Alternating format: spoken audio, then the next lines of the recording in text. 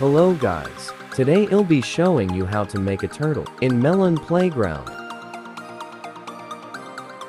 Anyway, let's get into the video. So first you're gonna need two bottles.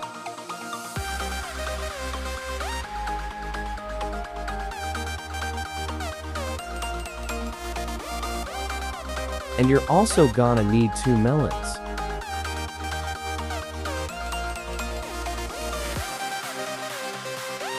And next you will have to resize one of the melons, the shape of the size of a turtle head.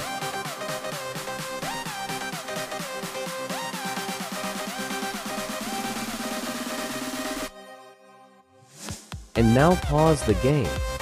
Next, put the melon on top of the bottles, or just follow what I do. Now put the melon on the body, like this. Now attach everything to each other like this.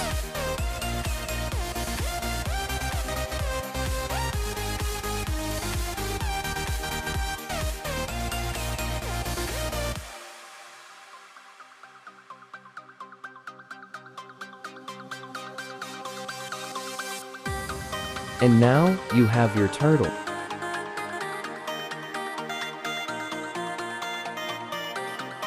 Also, this is how to make an unbreakable turtle.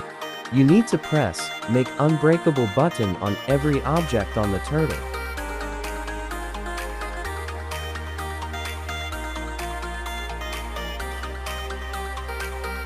And now, you have an invincible turtle.